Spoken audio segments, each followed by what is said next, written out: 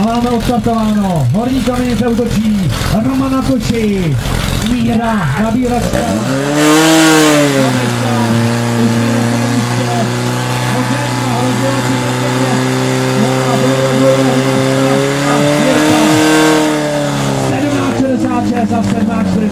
takže levý proud 17.66.